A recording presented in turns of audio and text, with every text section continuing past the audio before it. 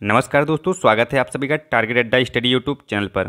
दोस्तों, आज है 25 मार्च 2022 और हम आपके लिए लेकर आए हैं आज की कुछ मोस्ट इंपॉर्टेंट करेंट अफेयर्स जो आगामी किसी भी एग्ज़ाम की दृष्टि से बेहद ही इंपॉर्टेंट हैं। तो दोस्तों, अभी तक आपने चैनल को सब्सक्राइब नहीं किया है या आप अभी चैनल पर नए हैं तो चैनल को सब्सक्राइब कर बेलाइकन ज़रूर दबा लें, जिससे आगे की अपडेट्स आपको लगातार मिलती रहें। दोस्तों वीडियो की पी फ़ाइल आपको टेलीग्राम चैनल पर मिल जाएगी, जहाँ आपको डेली फास्ट ऑडियो रिवीजन भी प्रोवाइड किया जाता है। दोस्तों, टेलीग्राम पर आपको डेली क्विज के माध्यम से करंट अफेयर्स की टेस्ट सीरीज़ भी प्रोवाइड की जाती है।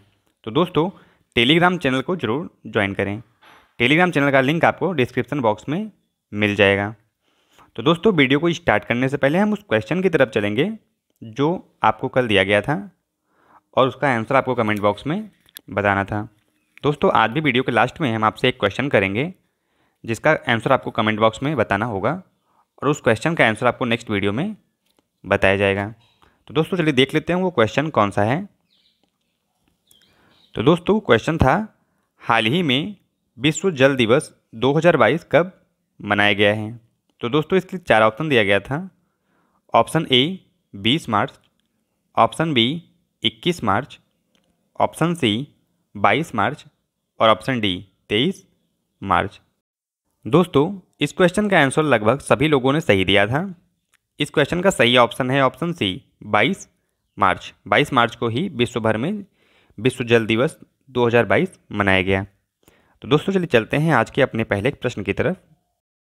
तो दोस्तों, आज का पहला प्रश्न है, कृषि नेटवर्क के ब्रांड एम्बेसडर के रूप में किसे नियुक्त किया गया है? दोस्तों, इसके लिए ऑप्शन दिया गया है। Option A Vikrant Massey.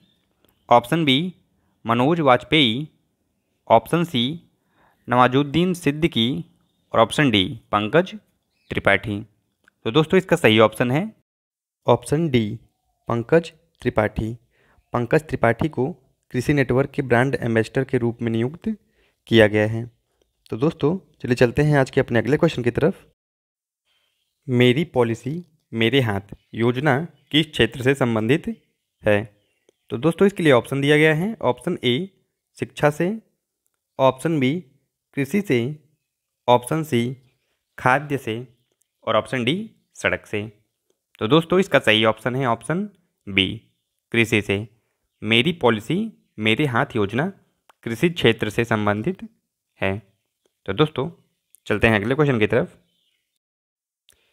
NBA मान्यता प्राप्त करने वाला भारत का पहला विश्वविद्यालय कौन? बना है। तो दोस्तों, इसके लिए ऑप्शन दिया गया है। Option A M J P R U विश्वविद्यालय। ऑप्शन बी चंडीगढ़ विश्वविद्यालय। Option C T M U विश्वविद्यालय। और option D A L U विश्वविद्यालय। तो दोस्तों, इसका सही ऑप्शन है ऑप्शन बी चंडीगढ़ विश्वविद्यालय।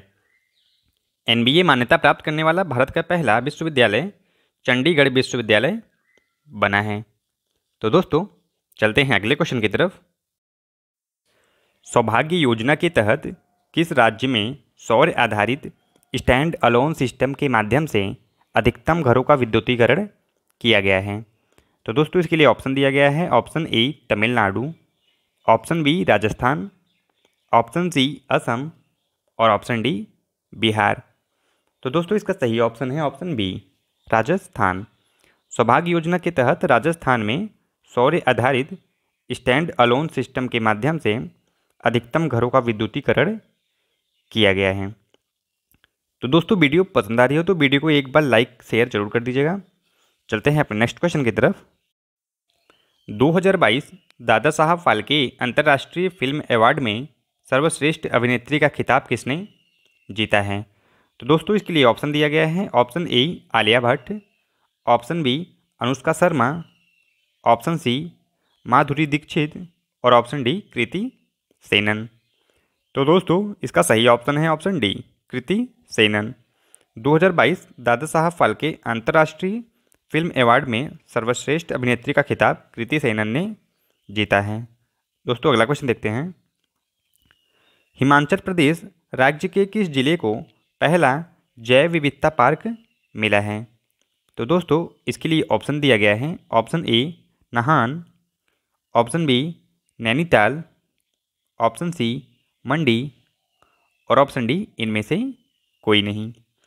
तो दोस्तों, इसका सही ऑप्शन है ऑप्शन सी मंडी। हिमाचल प्रदेश राज्य के मंडी ज़िले को पहला जैव विविधता पार्क मिला है। तो दोस्तों, अगला क्वेश्चन देखते हैं। भारत ने किस देश के साथ पूर्वी ब्रिज सिक्स वायु नामक अभ्यास शुरू किया है। दोस्तों, इसके लिए ऑप्शन दिया गया है। Option A Pakistan. Option B चीन। Option C Oman. और ऑप्शन डी जापान। तो दोस्तों, इसका सही ऑप्शन है ऑप्शन सी ओमान। भारत ने ओमान देश के साथ पूर्वी ब्रिज सिक्स वायु नामक अभ्यास शुरू किया है। तो दोस्तों, अगला क्वेश्चन देखते हैं। भारतीय रेलवे किस राज्य में देश का पहला केबल रेल ब्रिज स्थापित करेगा? दोस्तों, इसके लिए ऑप्शन दिया गया है option A Odisha option B Punjab option C Jammu Kashmir और ऑप्शन डी इनमें से कोई नहीं।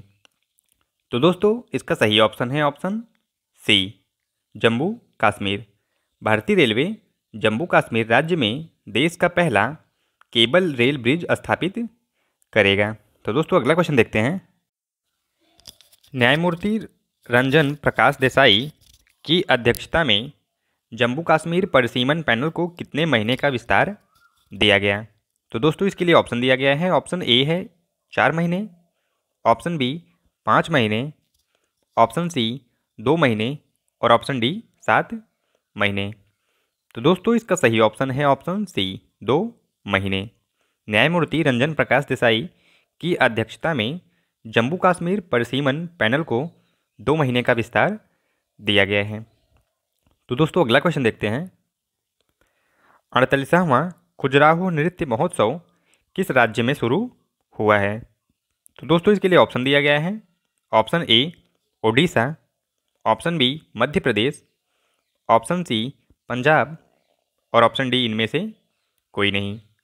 तो दोस्तों, इसका सही ऑप्शन है ऑप्शन बी मध्य प्रदेश। अड़तालीसवां खुजराहो नृत्य महोत्सव मध्य प्रदेश राज्य में शुरू हुआ है। तो दोस्तों, चलते हैं अगले क्वेश्चन की तरफ़। हाल ही में विश्व वायु गुणवत्ता रिपोर्ट 2022 में कौन सा देश सबसे ज़्यादा प्रदूषित देश रहा है? तो दोस्तों, इसके लिए ऑप्शन दिया गया है option A Bangladesh. Option B Bharat. Option C चीन। और ऑप्शन डी पाकिस्तान। तो दोस्तों, इसका सही ऑप्शन है ऑप्शन ए बांग्लादेश। हाल ही में विश्व वायु गुणवत्ता रिपोर्ट 2022 में बांग्लादेश सबसे ज़्यादा प्रदूषित देश रहा है। तो दोस्तों, अगला क्वेश्चन देखते हैं। हाल ही में फिच रेटिंग्स ने भारत के एफ़ वाई ट्वेंटी थ्री के विकास के अनुमान को दस दशमलव तीन प्रतिशत से घटाकर कितना कर दिया है? तो दोस्तों, इसके लिए ऑप्शन दिया गया है। ऑप्शन ए सात दशमलव तीन प्रतिशत। ऑप्शन बी आठ दशमलव तीन प्रतिशत। ऑप्शन सी आठ दशमलव पाँच प्रतिशत। और ऑप्शन डी दस दशमलव तीन प्रतिशत। तो दोस्तों, इसका सही ऑप्शन है ऑप्शन सी आठ दशमलव पाँच प्रतिशत।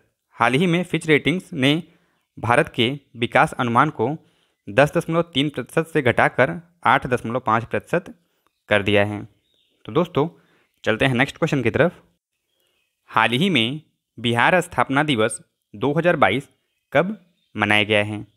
तो दोस्तों, इसके लिए ऑप्शन दिया गया है option A 22 March option B तेईस मार्च ऑप्शन सी चौबीस मार्च और ऑप्शन डी बीस मार्च। तो दोस्तों, इसका सही ऑप्शन है ऑप्शन ए बाईस मार्च 2022 हाल ही में बिहार स्थापना दिवस 2022 22 मार्च 2022 के दिन मनाया गया। अगला क्वेश्चन देखते हैं।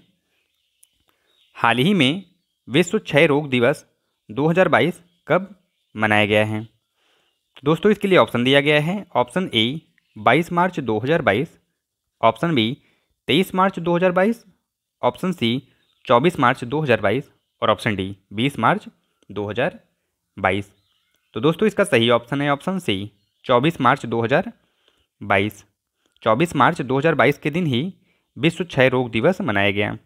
अगला क्वेश्चन देखते हैं।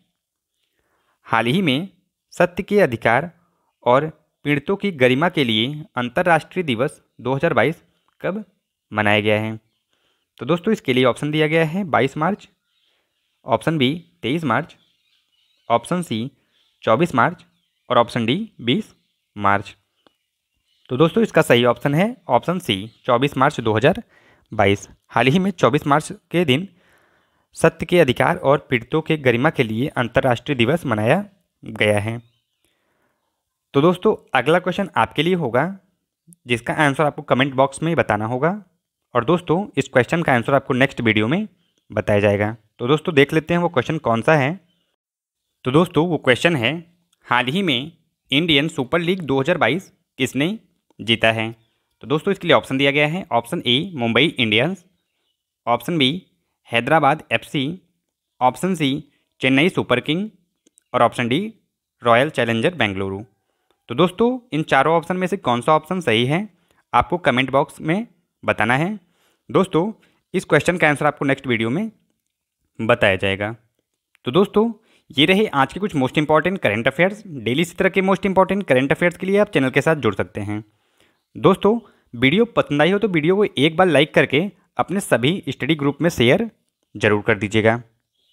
दोस्तों, टेलीग्राम के साथ साथ अब आप जुड़ सकते हैं हमारे साथ फेसबुक पर भी। फेसबुक पर जाकर सर्च करें टारगेट अड्डा स्टडी और हमारे साथ ज़रूर जुड़ जाएँ। तो दोस्तों, कल फिर मिलते हैं कुछ मोस्ट इंपॉर्टेंट करेंट अफेयर्स के साथ। तब तक के लिए जय हिंद।